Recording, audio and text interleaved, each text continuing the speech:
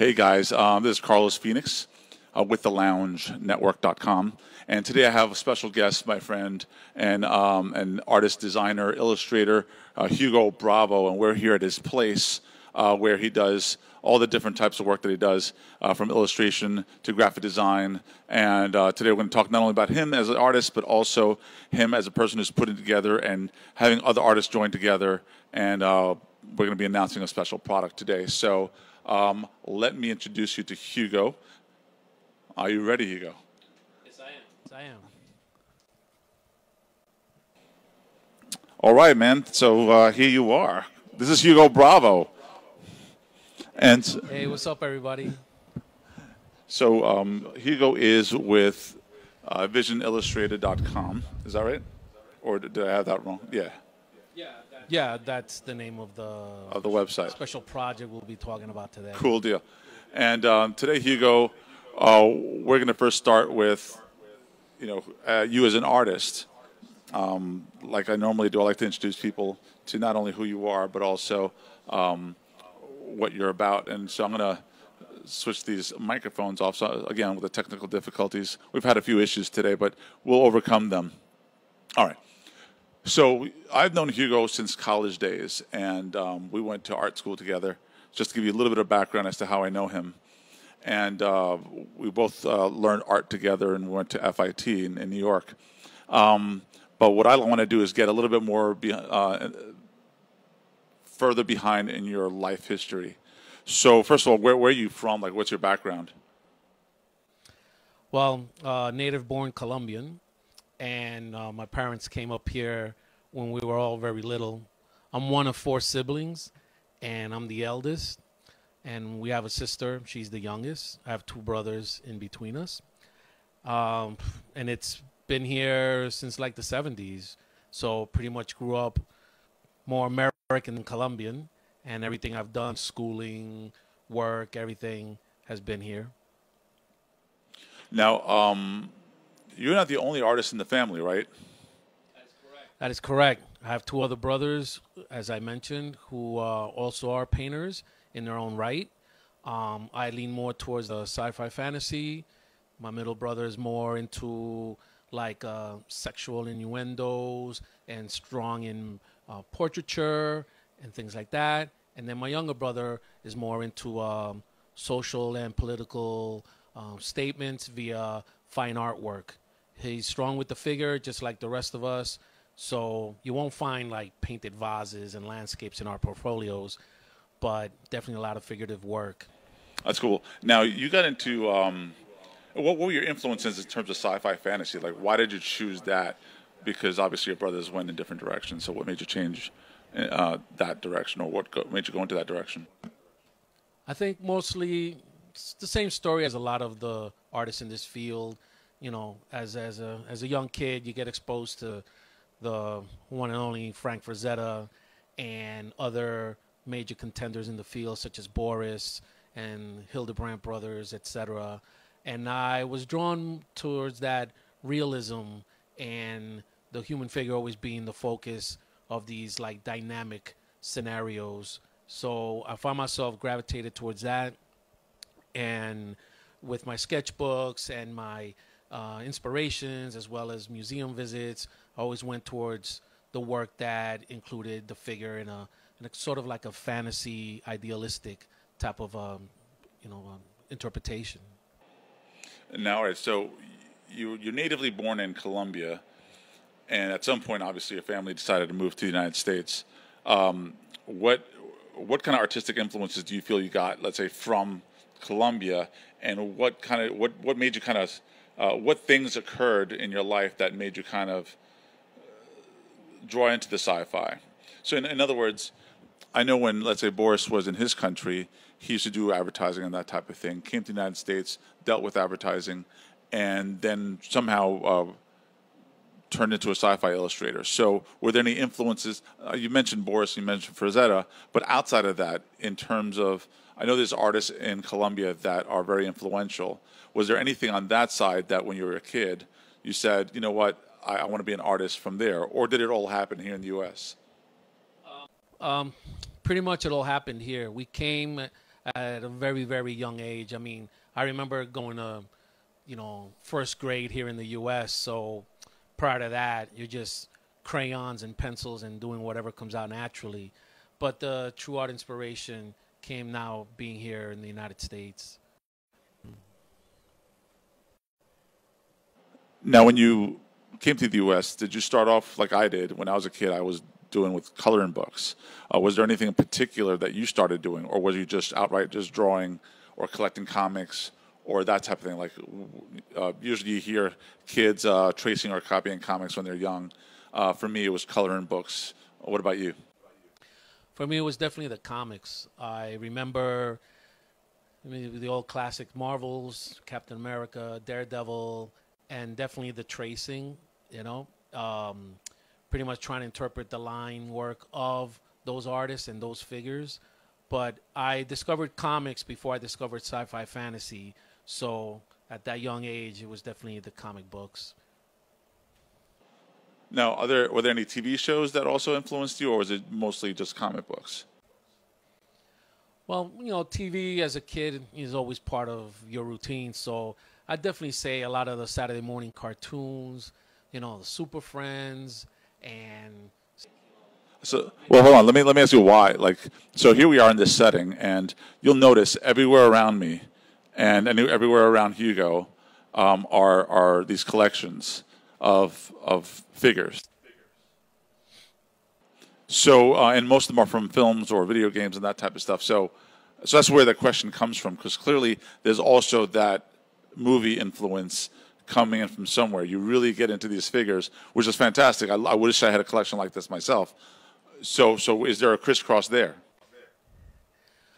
Well, um, I would say yes, because by collecting what inspires me, it's like I'll have that constant inspiration around me. If it's from a film, a particular character, or, or an alien or whatever, you know, having the figure here in the form of an action figure. It's got that um, reference as a, in the 3D.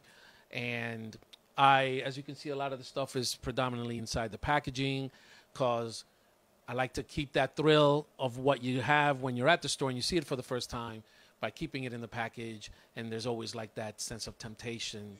Here we are, we're an artist now. Um, you've studied it, you went uh, to, to FIT and I know you and I we bumped into each other in a comic in a comic con in New York City, and we both kind of were chasing after our careers at that time. Um, can you give us a little bit of a background as to the beginning of the career and the difficulties or the simplicities, the things that you overcame that would help people be like, you know, especially nowadays when there's young artists trying to get into the art field give us a description of what it was like for you. All right. Um, well, I did um, four years at FIT. I got my BA in fine arts, and after graduating from that, I um, was fortunate enough to get a job at the Metropolitan Museum of Art as a as one of the guards. You know, keeping an eye out on for the artwork while people walk through. So you can imagine after graduating from college, having studied art history for four years, and then you're placed in the mecca of all art history. I was like in heaven, being up so close to the artwork. I was able to study it, look at it with a lot of detail after hours and whatnot. So a lot of inspiration came from that. During that time as well, I started uh, networking with uh, a lot of co-work. I mean, co-artists, peers, and I joined the group that back then was called Soul Concepts, and we were an art collective sort of like the Andy Warhol factory, and we would hold exhibits and uh, charitable, charitable events.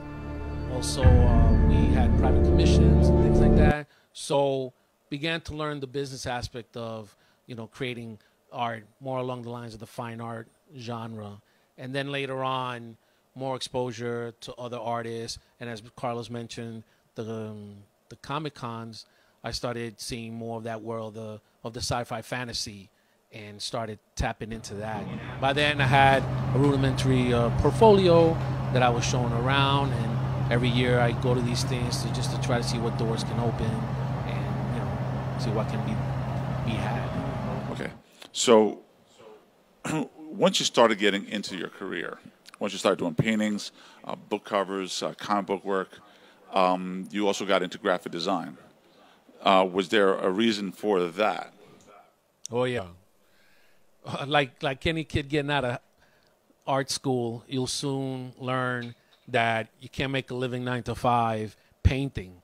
Um, the, the, the golden age of illustration, as it's called, is long gone. So to keep my head above water, I had to pretty much pick up another skill, which was computer graphics. Now we're talking about, you know, I went to FIT from 88 to 92, and the computer graphics design, Photoshop was just starting to make its way into the market. So it was part of my curriculum. So upon graduation, I took it upon myself by asking friends and pretty much just clicking on the mouse and seeing what happens to learn the different software and applications. And that's where I saw potential for steady nine to five, creatively doing design work on the computer. And that's how I started down that path, pretty much out of the need because I wanted to do everything I could not to go flipping burgers all day. So you know, took it upon myself to learn computer graphics, and that's what I currently do today. Now, in between all of this, computer graphics, illustration, loving movies, loving collecting action figures, at some point in time, both you and I um, got into working in film. Yeah, we were going to skip all that, but nah, I remember because we did it. So, so we worked on on a few projects together, but we won't delve into that. Um, movies and music videos and all that type of stuff. Where did that come from? Because that wasn't from from school. We didn't we didn't study that. Um, and uh, I know how I know I stumbled onto it, and I I had my path that kind of just happened to fall into my place. Where did it come from for you? I can uh, clearly remember um, through the Andy Warhol factory that we had, which was Soul Concepts. I ended up meeting a great independent film director called Nestor Miranda, and he found out that I knew how to draw. He put me on as the storyboard artist, and I was just in heaven because I get a kick out of seeing all the behind the scenes and the making of when it came to film. So that's one skill that I tried to practice, pretty much interpreting the written word a la storyboards. And he put me on, and it was his first movie, Destination Unknown and I really felt like I directed myself because we would chat about the script and call out the different ways that the scenes could be laid out. And I would doodle them and he would be like great that looks cool or change this change that and we storyboarded the whole script and that's what you know brought me into that world. And then from there one of the actors in that movie went ahead and did his own movie and he put me on this time as art director. So I was in charge of a whole department and it was you know a great thrill. Um, and then little by little, just other doors like that, networking and whatnot. Then came about music videos, other individuals who had like, whether it's like you know commercial projects or independent film projects, and that's pretty much how I, got into that world. Now, another one, uh, another thing you did uh, during that time that I think some of fans would recognize, and I don't think we have it here now, but but if you do, we'll pop up with it. Is an album cover. Jeru. yeah. So tell us a little bit about that one.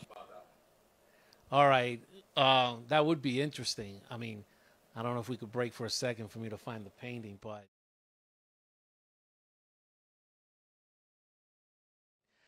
Um, I once again, as as as a collective, we hooked up with a renowned photographer in the hip hop, currently in the hip hop music video, independent film market named Daniel Hastings. Now, Daniel Hastings, way back then, was also making his way up and coming, trying to make a mark in, in the photography world. And he always wanted to be an innovator. So, one of the things he came up with was the idea to do an illustration for the backdrop of the character, Jeru, the damager, the rapper, um, as a background, and then photoshopping the figure onto that background and it was all up to me as to what that should be and i came up with something pretty i don't know i'll just call it eerie because what it is is it's the New York City background based based on one of the lyrics of Jeru the Damager. It went about saying that his lyrics were so strong they could knock down buildings like the World Trade Center. So I took that quote and I made this illustration where I showed like one of the towers crumbling, Statue of Liberty in the river, and the city pretty much in ruins, you know, based on the lyrics and based on that track that he was singing. And little did we know, X number of years later, it really happened. And I don't know what to call it, but it was just eerie. And that's that album cover that's got like the symbolism in it, which who would have known?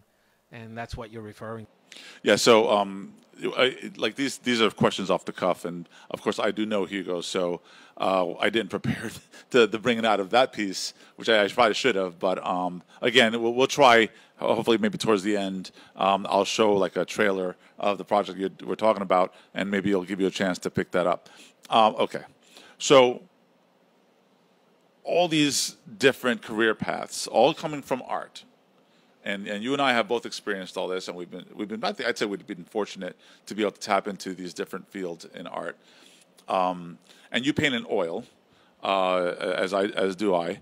Um, as an artist, as a person, when you first started painting, or going from crayons or chalk or whatever to painting, what what do you feel were the technical difficulties for you? You know, everybody has like a mental block at some point in time, and then you know you kind of overcome it. So for me, it went from drawing comic book style art to like let's say photorealism or whatever. What, what was it for you? Like, what was your big like fear first, and then you overcame it, and now you're able to successfully accomplish it over and over again?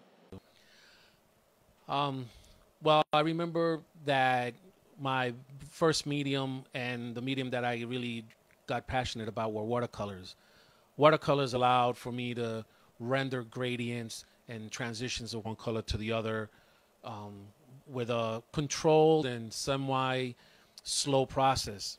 Acrylic paint dries up so fast because of the way I paint. It's just something I can control and, and create rich images. So when I looked at oils and I saw that a lot of the people that I admired painting oils, I felt that it wouldn't be so bad because the drying process is a lot longer and that to me was a big advantage. The challenges come came with regards to the mixing of mediums and knowing how to combine these things so that the colors can be rich etc etc but you know I, I, I can't say it was that difficult. Definitely a lot more comfortable than uh, acrylic so, you know, it, it took a while, but I, I enjoyed the process of of taming it, if you call it. Okay, awesome. Okay, so let's now fast forward. Um, now, you and I have also worked on some business together. Uh, we pursued doing websites. We pursued, you know, we're doing we're doing the whole biography here of all the things that you pursued, um, and and that was fun only because, if I remember correctly, we went to lots of multi-million dollar parties. If you remember all that, the, the basically when the internet started, um, one of the things that we got deep into was uh, participating in not only the web design aspects of things, uh, you know, album covers, sorts of things, but the web had no e-commerce, had no Google, had no Facebook. You know, we were uh, delving in the beginnings of what the internet was delving into. And we went to all these big parties, and a lot of them were like amazing parties, but none of them had a business strategy to make money. Do you have any like particular memories of all of that in terms of like the excitement and then like oh wow, you know, each one of those failed. Uh, any any thoughts on that?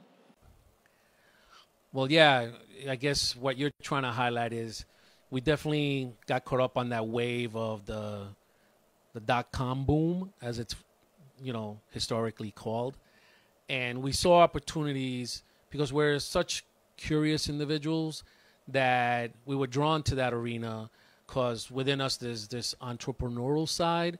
So that ambition um, had us exploring that, that, that, that world. And because, like Carlos had mentioned, it was all in its infancy, uh, no one knew what to do, how to do it, etc. So, you know, there we went, trial and error. Oh, this work that didn't work. Let's check this out. Let's check that out. And you know, with everything, there were some hits, some misses, but we felt pretty good because as that, you know, young entrepreneurial generation, we, we went for it.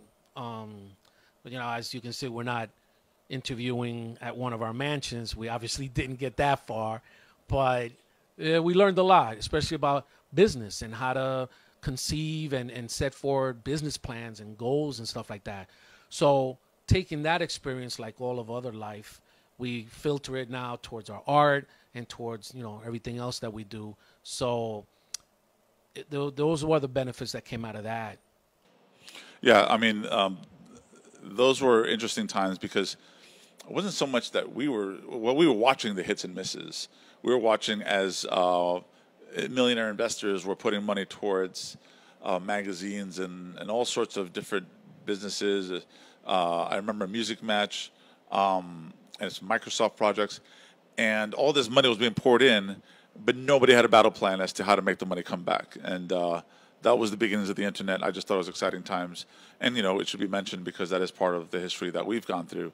Uh, in in in, but but I think what I'm also trying to point out is how flexible being an artist allows us to be.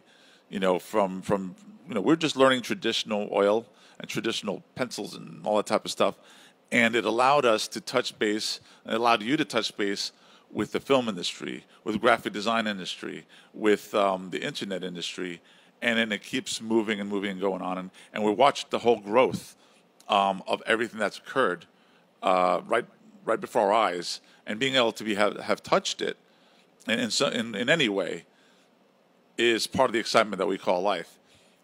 Now we're fast forwarding to now. Let's let's touch base with the project. Okay, so I've been tiptoeing around it. So for the past couple of years, you've been working on a specific product, um, and it involves uh, a bunch of artists, and it involves a lot of what has inspired you in your life and hopefully the product will inspire others. But I don't want to speak for you. I want you to explain now what the product is and what it's about and, and what made you come up with the idea. All right. Um, pretty much what Carlos is referring to is I'm getting ready to publish my first book. It's an artist collective uh, book, sort of like what's currently out in the market called Spectrum or Infected by Art. Um, these are big leaders in the industry of showcasing high quality sci-fi and fantasy artwork. Um, every time I look through these books, which are published once a year, I would admire and be in awe of all the different art that I saw in it. As an artist, I would draw great from these images, but also as an artist, I'd have my questions as to how did they do it, what did they use, uh, photo reference, any uh, animatics, uh, clay models. How did the artist go about doing these great masterworks? So one day I said to myself, what if there was a book that provided you that visual, that information um, of how the creative process was done for those particular images? And that's when it hit me. Like, why not do it so that you'll have it. And in doing so, be able to share it with the rest of the world. So, out of that, I guess you could say, wish, I came up with my first book called Vision Illustrated. Now, as Carlos was saying, Vision Illustrated is a artist collective, in, an art annual which showcases art from many different artists. And each artist gets a two page spread showing one completed image, and on the other side, showing the process of how they did it, strictly through images. I always emphasize to people that this is not a how to book, it doesn't come with instructions. You're not going to learn how to go about it, but you get an insight as to how it was done.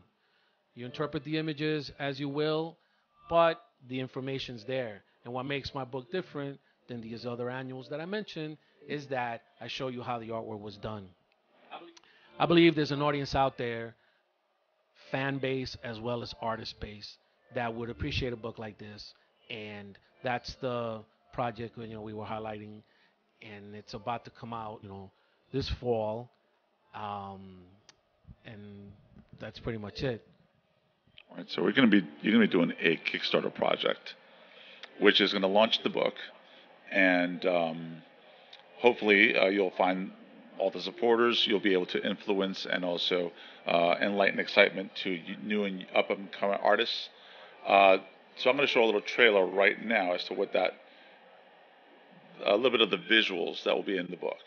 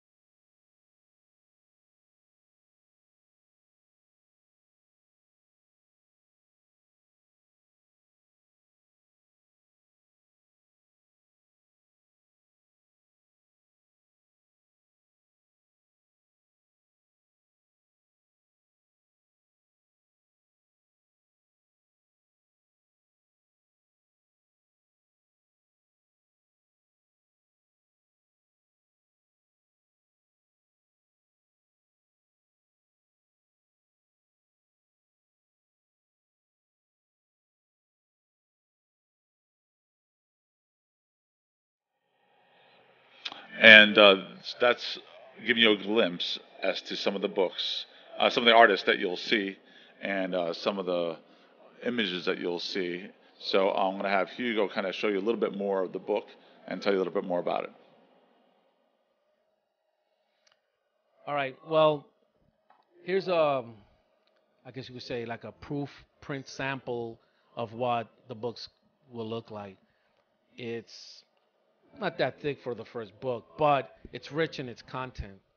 And like I was saying, you know, many of the artists will get a two-page spread where they'll go ahead and show how the artwork was done and share with you their creative process. Now, Biography information and links to each of the artists' websites can be found at my website, visionillustrated.com, as well as inside the book. Each artist gets their contact reference in there, um, information about the artwork, what they used to paint it, and it's all traditional art. Uh, maybe one or two pieces are digital, but the majority is traditional art. So look forward to that. As Carlos mentioned, we're going to be, you know, announcing the Kickstarter pretty soon. Um, we'll make a lot of noise about that. So be the first to pick up your copy. Stay connected with us and and be that. Be the first. Very cool. Um, the project is awesome in respect that it shows you all the steps from the pencil art to the final illustration, and um, it, it, gives you an idea of what the process that an artist goes through. Especially if you're not an illustrator, uh, it just knocks that curiosity in respect to that process. So you go from pencil to some of the photo references and to the final artwork. And now this is your your, your basically your big first publishing puppy of your own. Um, and and now you're able to say that you're a publisher of your own books. Yes, as Carlos mentioned, um, as creatives, as artists, we we have this curiosity as well as this drive to constantly be exploring and, and seeing what can be done. And now venturing into publishing. Um, Vision Illustrated will be an annual publication. It's going to grow with regards to its content. Right now, there's painters in there with sci fi and fantasy. I plan on opening it up to comic book illustrators, sculptors, digital artists. Well, they'll all be in there sharing their creative process for you to check out, as well as all their contact information. Because this book is about the artist, promoting the artist, and seeing you know what can be done for them as a community.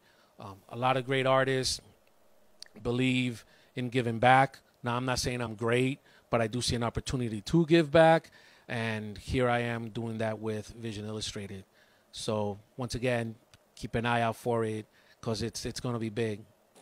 Now,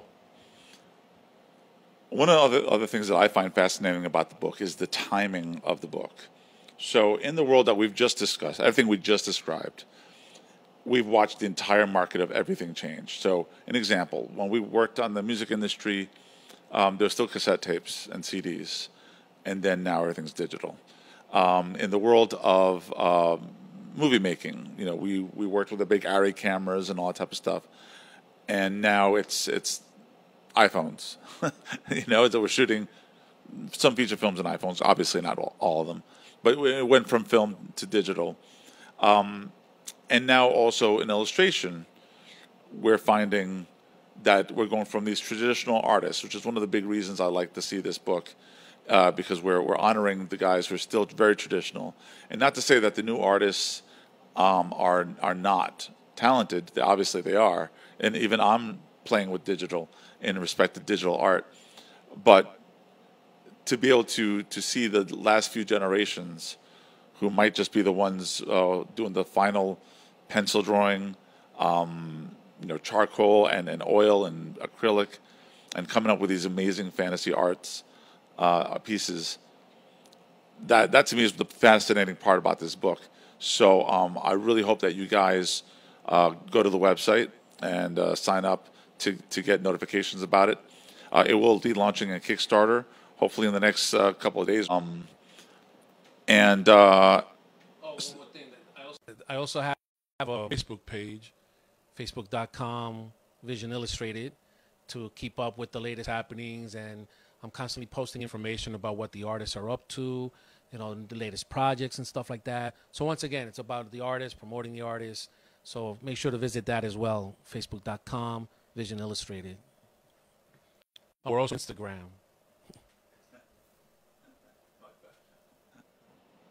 Okay, so um, so this is where we're now uh, towards the end of the interview, and um, I guess one of the last things I want to ask you is, so you've done all this, you've accomplished a lot of goals, um, you've done a lot of things that a lot of artists haven't tapped into, and and that's very honorable for one, but also, that's just cool to see what's next? What do you think is your next tackle? I know you're going to publish more, but is there anything else that you you'd say in your in your head in your heart? Um, man, I want to be able to do this. Is there anything that's like that? Well, I mean, to be quite honest, I'm so caught up right now with, you know, producing the book, getting ready to put it out to market, the Kickstarter and all. It's, you know, quite an endeavor. I've been at it for like about a year and a half, probably going on two years now and I think for now, I'm just going to see about making sure that this thing accomplishes its goal, which is to, to, to be published, to be able to have people find it out there and and enjoy its content. Um, going from that, while as an artist, I constantly see myself challenging myself to improving my art skills as a traditional painter, and hopefully look forward to like bigger and better projects. Um, I, I've been learning a lot that one can't wait for the door to knock to see who can give you that particular commercial project. You should challenge yourself to produce your own um, artwork, whether it's personal artwork that you hang or or some kind of like product or something, t-shirts, you know, hats, whatever. And here I am going down the path of uh, publishing. So I pretty much have just hopes that this, you know, succeeds as I believe it will, and on the side continue to challenge myself creatively, and then hopefully this will open other doors that I don't even see coming forward. and make life even that much more thrilling. Cool. All right, guys. So now we go into the part of the show where we can. I'll see if there's any uh, questions that you guys may have.